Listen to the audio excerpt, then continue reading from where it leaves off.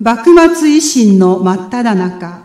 まさに太平の眠りを打ち破る緊迫した事態。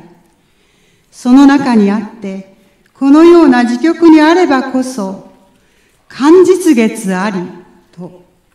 馬を郊外に走らせ、菜の花を眺めています。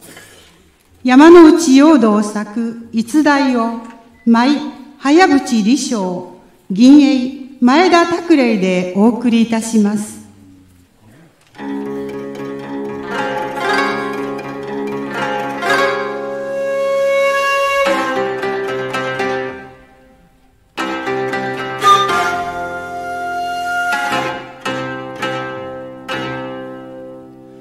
風は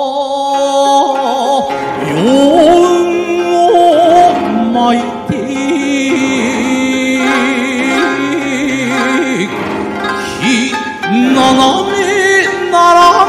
と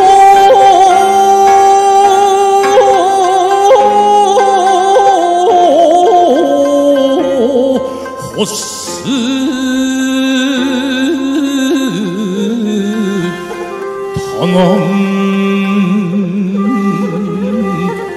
意に関して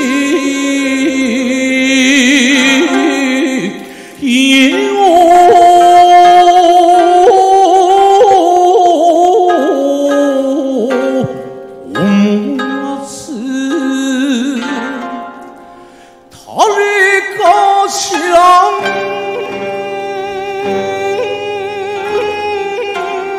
このう